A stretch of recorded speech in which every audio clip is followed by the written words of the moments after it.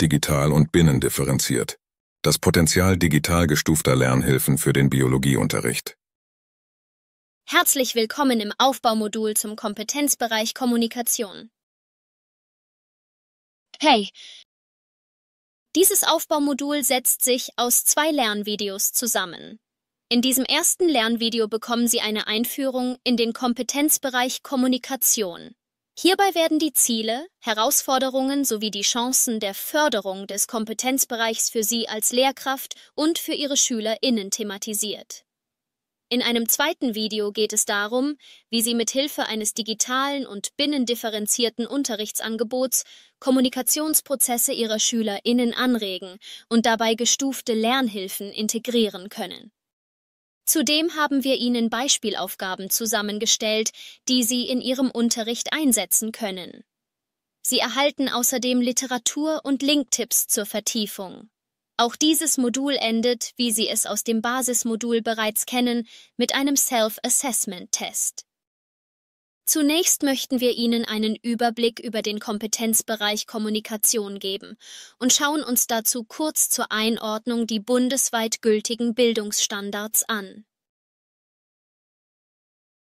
Mit einem mittleren Schulabschluss haben die SchülerInnen im Fach Biologie Fähigkeiten erworben, die die Handlungsdimension sowie inhaltliche Dimensionen berücksichtigen. Die inhaltliche Dimension wird durch Basiskonzepte dargestellt. Die Basiskonzepte umfassen im Fach Biologie die Ebenen System, Struktur und Funktion sowie Entwicklung und ermöglichen den SchülerInnen die Analyse von Kontexten, die Strukturierung und Systematisierung von Inhalten und die Gewinnung eines grundlegenden und vernetzten Wissens. Die Handlungsdimensionen dagegen beziehen sich auf wesentliche Elemente, die beim Erlangen naturwissenschaftlicher Erkenntnisse im Bereich der Erkenntnisgewinnung, der Kommunikation sowie der Bewertung biologischer Situationen im Kompetenzbereich Bewertung erforderlich sind. Doch was genau ist unter dem Kompetenzbereich Kommunikation zu verstehen? Die Kommunikationskompetenz umfasst laut den Bildungsstandards die Fähigkeit, eigene Erkenntnisse und Arbeitsergebnisse zu kommunizieren, Darstellungsformen zu wechseln und unterschiedliche Informationsquellen zu nutzen. Weiterhin geht es darum, die Fachsprache auch in neuen Zusammenhängen zu beherrschen und in die Alltagssprache zu übersetzen.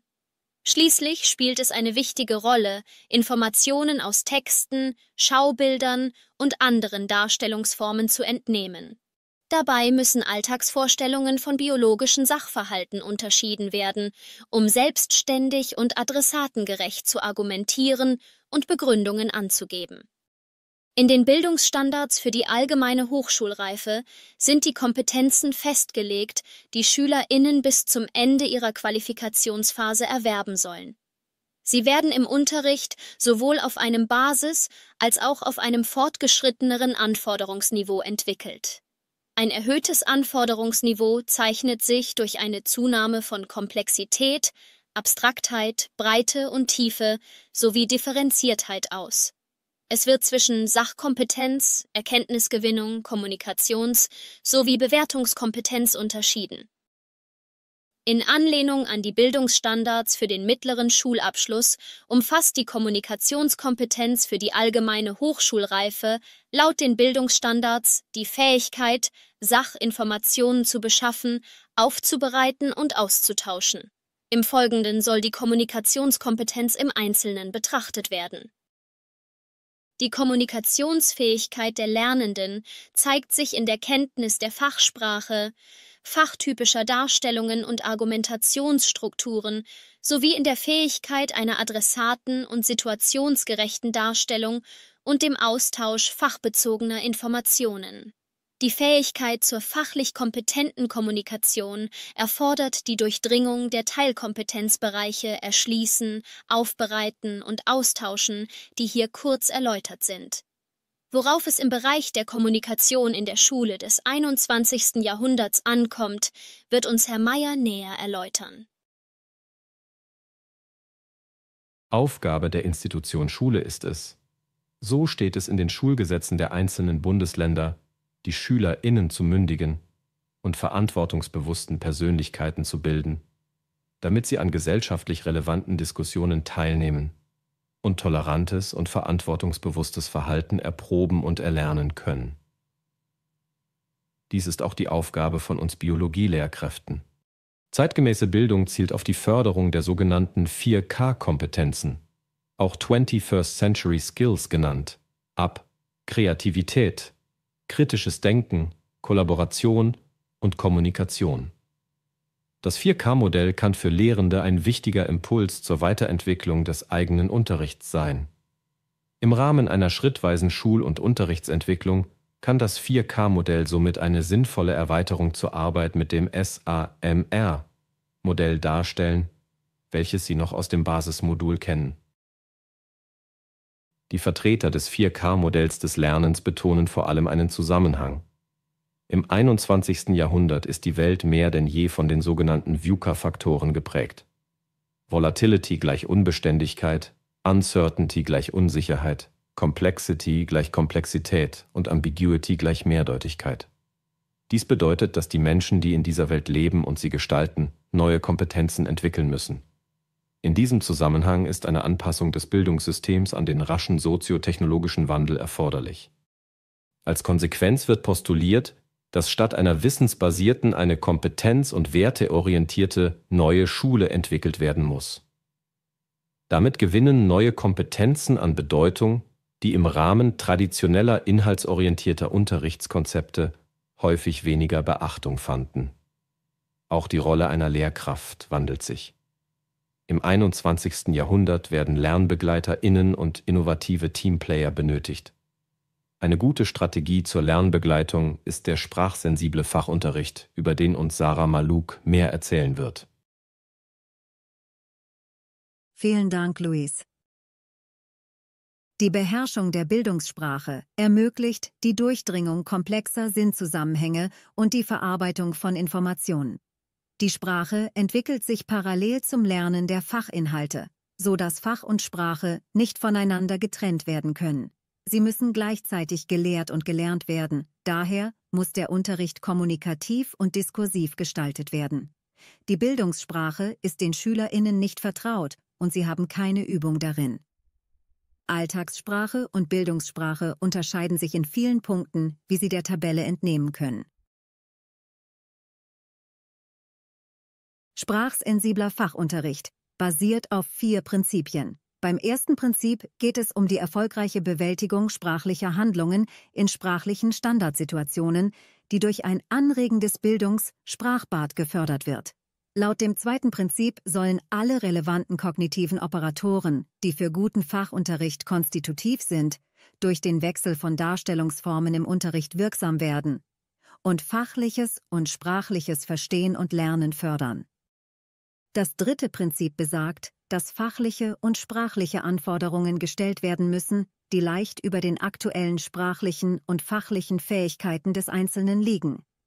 Einige SchülerInnen benötigen sprachliche Unterstützung in Form von Sprachfördermaßnahmen, während andere fachliche Unterstützung benötigen. Das vierte Prinzip beschreibt daher drei Möglichkeiten, mit der kalkulierten Herausforderung umzugehen. Defensives Vorgehen durch sprachliche Vereinfachung, offensives Vorgehen durch Scaffolding über methodische Hilfsmittel und stärkendes Vorgehen durch Erweiterung der sprachlichen Kompetenzen. Lassen Sie mich das etwas näher erläutern. Bildungssprache lernt man, indem man von Bildungssprache umspült wird, indem man im Unterricht in ein bildungssprachliches Bad eintaucht. Das Sprachbad muss aber sprachlich reichhaltig sein. In einem wenig ausgeprägten Sprachbad kann man keine reichhaltige Sprache lernen genauso wenig wie man in einem Fußbad schwimmen lernen kann. Darüber hinaus muss es im Unterricht kognitiv anregende Situationen geben, um die Bildungssprache auch anzuwenden. Sprache ermöglicht es den Lernenden, neue Begriffe und Phänomene zu verstehen, sich ein Fachvokabular anzueignen und damit handelnd umzugehen. Dabei erweitert das neu erworbene Fachvokabular den allgemeinen Wortschatz und verbessert die Ausdrucksfähigkeit, was wiederum dazu führt, dass sich die Lernenden im Fach besser verständigen können. Das zweite Prinzip des sprachsensiblen Fachunterrichts, der Wechsel der Darstellungsformen in nonverbaler Sprache, Bildsprache, Verbalsprache, Symbolsprache und mathematischer Sprache, beinhaltet den Einsatz verschiedener Darstellungsformen wie Experimentieranleitungen, Bilder, Diagramme oder Formeln. Der Wechsel der Darstellungsformen kann das Verständnis fördern. Die Zunahme der Abstraktion ermöglicht es den SchülerInnen, komplexe fachliche Inhalte aus unterschiedlichen Perspektiven zu erfassen und zu verarbeiten. Neben den genannten Anforderungen an das bildungssprachliche Lernen im Unterricht ist es wichtig, den Unterricht sprachförderlich und sprachsensibel zu gestalten. Dies zeigt sich in geeigneten, kognitiv herausfordernden Aufgabenstellungen. Darüber hinaus muss das Sprachbad im Unterricht lerngerecht gestaltet sein. Diejenigen, die sprachliche Situationen noch nicht bewältigen können, metaphorisch gesprochen die sprachlichen Nichtschwimmer, werden durch methodische Schwimmhilfen unterstützt. Sprachbildung ist somit Teil der Kompetenzentwicklung im Fach und damit Aufgabe jeder Fachlehrkraft. Ich fasse die wichtigsten Punkte noch einmal zusammen.